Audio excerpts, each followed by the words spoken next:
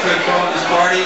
Um, I do want to say that we relocated here about five years ago, and I've met so many amazing musicians through my podcast, the people I've met. Some of them got nominated for awards this year, so best of luck to all of you and everybody else.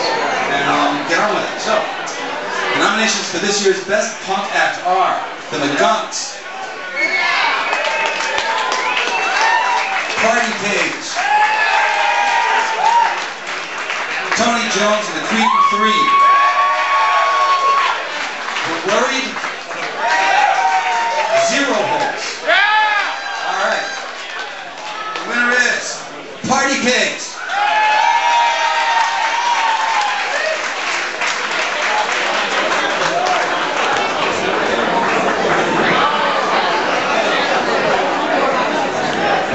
Hello?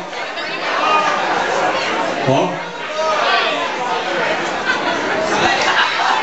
This is going to be really great, putting this next to all the other is, this is the dreams that stuff's made of.